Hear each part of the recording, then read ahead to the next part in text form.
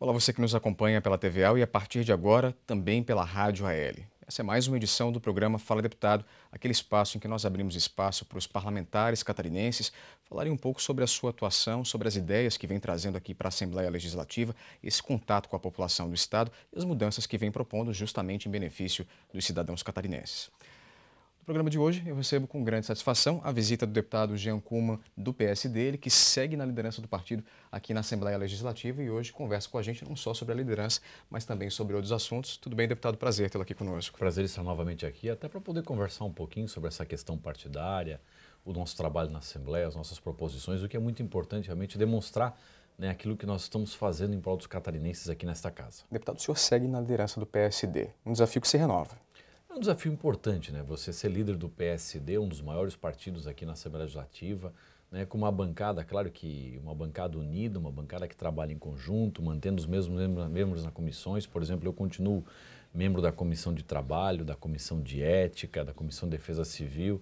O deputado Zé Ney continua como membro da Comissão de Constituição e Justiça, o deputado Darcy de Matos, o deputado Kennedy na Comissão de Finanças, uma bancada afinada junto com o presidente Merizio que vem de alguma forma trabalhando para tentar ajudar o governador Raimundo Colombo a fazer o melhor para o nosso estado e em alguns momentos até com grandes desafios, né, que é a questão da organização do estado, que nós precisamos quebrar alguns paradigmas, melhorar a vida das pessoas, mas também fazer com que o estado catarinense, o estado brasileiro fique mais próximo da realidade atual do momento que nós vivemos. Então é uma situação muito importante essa liderança e eu acredito que é um desafio renovado que nós vamos trabalhar nesse ano com muita atenção novamente. Além desse propósito de congregar essa bancada que já é bastante unida, o senhor eh, segue eh, acompanhando os desafios que Santa Catarina tem nas mais diversas áreas e vem propondo, inclusive, sugestões de mudança na legislação ou criação de novas legislações no que diz respeito ao cidadão e à segurança que ele tem nos mais variados segmentos.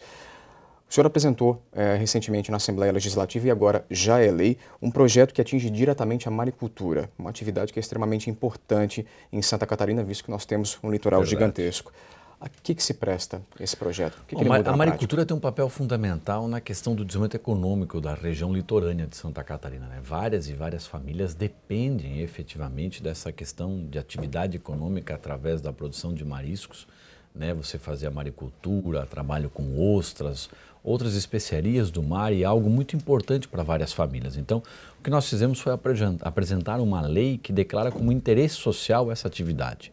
O interesse social mostra que você não tem apenas ali, por parte do Estado, uma visão econômica do processo, mas você tem uma visão de sustentabilidade, uma visão onde você tem que dar a essas famílias a educação no sentido de preservação do meio ambiente, preservação da natureza, mas também a condição econômica para que elas possam viver da natureza, do plantio do marisco, do plantio da ostra e todas as atividades que envolvem a questão da maricultura. Então é um projeto que visa ajudar essas famílias a permanecerem na sua, na sua origem, no seu local de trabalho, mas com uma assistência mais profunda do Estado, onde o Estado vê realmente a necessidade de orientar, de educar, de auxiliar essas famílias que tanto precisam da mão do Estado. E é uma atividade que tem muito para ser desenvolvida ainda em ah, Santa tem Catarina. Tem muito, né? tem muito para ser desenvolvido. Você pega, por exemplo, Penha, é uma das cidades do Brasil que mais produzem marisco.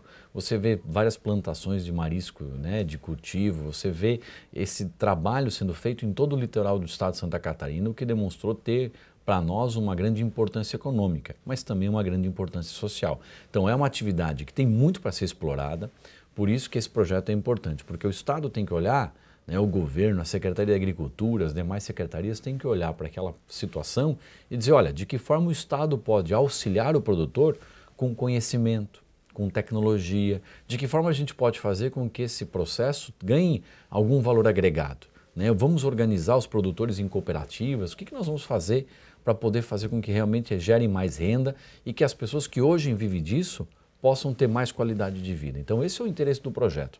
É você declarar essa atividade como sendo uma atividade estritamente de interesse social para você poder dar condições para que o Estado se desenvolva nisso, que as famílias cresçam nisso e a gente possa permitir com que os jovens, que muitas vezes veem os pais trabalhando com isso e que não querem mais trabalhar porque querem ir para a cidade grande, possam continuar nesse local trabalhando. E vejam nesse pais. negócio uma perspectiva claro, de assim futuro. Assim como a agricultura familiar tem um papel importante no interior do estado, a maricultura tem um papel fundamental no litoral. Então você tem esse mesmo tipo de atividade. E uma coisa que diferencia o nosso estado de outros estados brasileiros é que se você pegar né, a maior cidade não é a capital.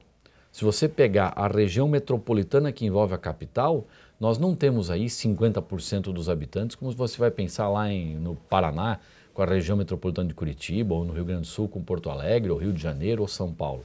Aqui nós temos né, várias regiões economicamente desenvolvidas. Então você pega Florianópolis, Joinville, Criciúma, Chapecó, Blumenau, Lages, e você começa a analisar o estado, você vê que ele cresce de forma uniforme em várias regiões. Por quê? Porque a gente tem um trabalho de fortalecimento da pequena, da, do pequeno território, né? Aquela agricultura familiar, o pequeno pecuarista, o pequeno plantador de alguma atividade que dá retorno econômico, seja na área florestal, seja de alimento, ou própria pessoa que cultiva marisco. Então, você tem essa pessoa vinculada com a sua origem e fazer com que ela permaneça lá faz com que o Estado continue crescendo de forma uniforme. Isso beneficia não só o maricultor, não só o agricultor familiar, mas beneficia o nosso Estado como um todo, porque evita a criação de grandes bolsões de pobreza, de concentração de pessoas em pequenas áreas. E isso faz com que o Estado possa ser diferente do restante do Brasil. Então, você trabalhar para que o agricultor, para que o maricultor fique na sua terra, junto com a sua família, com seus filhos, com seus netos, gerando renda para essas pessoas, também beneficia quem está na cidade. Então, é uma visão um pouco mais global do processo, é uma visão mais macro de quem entende que o Estado tem que crescer como um todo e não apenas numa parte. Deputado, além desse projeto da maricultura, que agora já é lei graças à sanção do governador né, no início desse ano, existe um outro projeto que o senhor apresentou aqui na Assembleia Legislativa e que também já tem força de lei em Santa Catarina, que é o que obriga a identificação dos compradores de cigarro. Por que dessa proposta? Eu vou tentar te explicar com um exemplo prático que passou por mim e por que eu acabei fazendo o projeto de lei. Eu fui fazer uma visita de uma pessoa que me chamou numa comunidade em Blumenau e disse, ó, oh, nós temos um problema aqui no nosso centro social aqui, na nossa região aqui, no nosso bairro. Eu fui lá fazer uma visita com a pessoa, ele me convidou, ó, oh, vem tomar um café aqui em casa. Fui lá tomar um café com essa pessoa, aí a pessoa estava lá tomando café, daí chegou para a criança, era uma criança de, acho que tinha 15 anos de idade, ó, oh, vai para a mãe lá na venda rapidinho e busca açúcar. Tinha acabado o açúcar na cozinha. Ah, já aproveita e compra um maço de cigarro. Aí eu disse assim, poxa, mas foi pedir para a criança comprar açúcar e já aproveitar e comprar um maço de cigarro? Será que é legal isso? Né, a gente sabe que é proibido a venda de cigarro, de produtos fumígenos para menores de idade. Mas aí a criança foi lá, acabou pegando o mesmo dinheiro, trouxe o açúcar e trouxe o cigarro.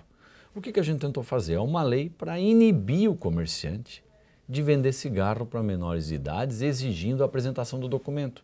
Porque daí o comerciante hoje fica numa situação delicada, que como é que ele vai dizer para a criança, olha, não vou vender para ti? Daí a criança, a mãe não compra mais nem o açúcar lá naquele comércio. Então acaba perdendo o cliente. Então o que, que a gente fez? Fez uma lei dizendo o seguinte, olha, vamos inventar uma forma inteligente de dizer para o comerciante que ele não pode mais vender o cigarro para a criança. Aí ele vai dizer, olha, vende o açúcar, tá, tu tens a tua identidade? Ah, não tenho, então eu não posso vender para ti, eu só posso vender com identidade. E a mãe, obviamente, se mandar a identidade, vai comprovar que a criança é menor de idade. Então, o objetivo era fazer com que a gente evitasse que as crianças fossem muitas vezes utilizadas por algum familiar, por um amigo, por um adulto, aí lá na venda mais próxima comprar um açúcar e um cigarro. E ter o contato, né? E ter o contato. É, é, tá, quer dizer, vai lá, compra, aí tu tá andando com o pacote de açúcar, o pacote de cigarro na mão, a criança começa a olhar, ah, mas se minha mãe fuma, se meu pai fuma, Já eu acho que deve ser legal, então um dia eu também quero fumar. Então, a gente tem que evitar esse contato. E esse é o objetivo da lei.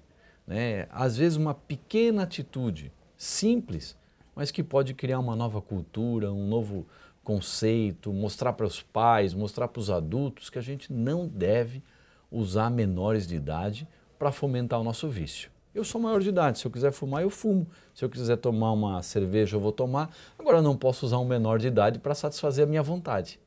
Né? Então, graças a Deus, eu sou uma pessoa que, por exemplo, não fumo e nunca vou pedir para um filho meu ir comprar um cigarro por mim. E agora é lei. E agora é lei e vai ter que apresentar a identidade. Daí o comerciante tem como se respaldar numa lei. Olha, eu não posso vender para ti porque tu não mostrou a tua identidade. Mas eu posso vender para ti o feijão, o arroz, o açúcar, a farinha. Isso eu posso. Agora o cigarro eu não posso. Deputado, uh, nós estamos numa época de retomada das atividades legislativas aqui na Assembleia, inclusive com a reinstalação das comissões e já algumas frentes parlamentares e fóruns retomando as suas uhum. atividades. O senhor foi o autor da proposta de um fórum que trabalha a questão da desburocratização. Exatamente. E é uma proposta que deve vir forte em 2016. É, a gente também. vai trabalhar muito isso. Né? No ano passado eu tive a oportunidade de fazer um projeto de lei, que era aquele projeto de lei que quando o cidadão, por exemplo, chegasse lá num órgão público, ah, vou lá no Detran atualizar a documentação do meu veículo. Se o Detran pedir para o cidadão o comprovante de residência autenticado, basta agora, depois da lei que eu aprovei, o cidadão levar o original e um xerox. O servidor público vai olhar o xerox e ele mesmo pode autenticar. Com isso, a gente acabou com a burocracia na necessidade dos, nos órgãos estaduais de autenticar documentos. Né? Não precisa mais ir lá no cartório, pegar um ônibus, pagar pela autenticação, voltar para o órgão público. Tendo um xerox simples e original na mão, o próprio servidor pode autenticar. Baseado nisso é que a gente teve a ideia de criar esta frente parlamentar pela desburocratização. Nós vamos fazer um trabalho muito forte nas redes sociais, ouvir a participação da sociedade, tentar buscar depoimentos de pessoas nos órgãos públicos estaduais de casos concretos que existem burocracias inúteis. Porque às vezes uma burocracia a gente pergunta, ah, mas para que, que existe essa burocracia? Aí o servidor diz assim: olha, não sei, é porque sempre existiu. Sempre aquilo aconteceu, então eu continuo cobrando do mesmo jeito. Tá, mas para que serve isso? Ah, não sei, é porque meu chefe pede, porque o outro pede, e porque sempre foi feito assim, então vou continuar fazendo. E dá para modernizar o processo, e dá para modernizar, melhorar e otimizar é, a gestão. Você tem hoje a questão é, da condição de utilizar os sistemas de informação a favor do cidadão. Não adianta só usar a informática, o computador, a, a condição de tecnologia para penalizar o cidadão, para multar, para investigar, para criminalizar. Mas também Você pode usar para facilitar a vida das pessoas. É isso que a gente quer. Essa frente parlamentar pela burocratização veio com o objetivo de ouvir o catarinense, né, ouvir o cidadão de Santa Catarina que passou por alguma situação de burocracia excessiva e que de alguma forma ele pode sugerir uma mudança. E aí é que nós vamos trabalhar com essas sugestões, com esses casos concretos e vamos levar. Um exemplo que eu quero trabalhar de forma muito forte é estudar, junto com o presidente da Fátima, por exemplo, a possibilidade de mudar o rito do licenciamento ambiental. Que é uma coisa bastante demorada. Muito. Hoje uma empresa quer se instalar, ela tem que ter a LAP, a LA e a LAUS, a mesma licença três vezes. Né? Claro que elas têm objetivos diferentes. E isso às vezes leva um dois anos, três anos. Então, por que não trabalhar de uma forma com que o cidadão possa ser responsável pelas informações que ele está prestando? Né? Ele prestou informação, ele é tecnicamente responsável por aquilo e já poder trabalhar gerando mais emprego e renda. Então, a gente tem que acabar com essa burocracia que muitas vezes a burocracia é que traz um problema. Agora também existem burocracias que são importantes para manter o equilíbrio do processo. Importante então, diferenciar saber distinguir Por isso a frente parlamentar vai discutir caso a caso e levar aos órgãos públicos aquilo que realmente é importante. Deputado, chegando no final do nosso programa, mas não gostaria de terminá-lo sem que o senhor falasse um pouco sobre as obras importantes que estão sendo feitas na sua região Blumenau. Estamos trabalhando muito, viu? Acho que uma das papéis muito importantes de um deputado estadual é você cobrar que os recursos estaduais que o cidadão paga de imposto volte para a sua cidade, para a sua região. Lá em Blumenau, agora o governador teve a oportunidade de inaugurar o complexo penitenciário do Vale do Itajaí, né? Lá a gente tem mais questões que têm que ser concluídas, né? uma ala de regime semiaberto, né? o presídio, tudo isso tem que ter, né? mas ele inaugurou a parte da penitenciária, que são 599 novas vagas, e além disso, agora o governador também teve a oportunidade, depois de muito trabalho, da famigerada burocracia, nós conseguimos romper a burocracia do processo de licenciamento ambiental, de autorização de corte de vegetação, conseguimos negociar com vários proprietários uma obra importante que existe em Blumenau, que é o prolongamento da via expressa. E agora o governador pôde autorizar a empresa responsável a iniciar os trabalhos. Né? Você vê, burocracia a gente vai rompendo, mas o deputado tem esse papel. A gente vai lá, conversa com as pessoas, luta dentro do órgão estadual, porque além dessa atividade legislativa que a gente faz aqui na Assembleia, também tem a importância de fazer com que muitas vezes um papel ande. É, o papel não tem perna, ele não anda. É o deputado que tem que fazer o papel andar para ajudar a vida das pessoas. Essa também é uma das prerrogativas. Sem dúvida. É um trabalho comunitário de ouvir, de buscar soluções em prol do cidadão. Deputado, mais uma vez agradeço a sua presença aqui e já lhe convido para estar mais vezes com a gente. Legal, muito obrigado pela oportunidade, um abraço a todos. A você de casa, muito obrigado pela companhia e não esqueça, para rever este e outros programas, basta acessar o site da Assembleia Legislativa que aparece aí no seu vídeo. Por hoje é só, nos vemos numa próxima. Até lá.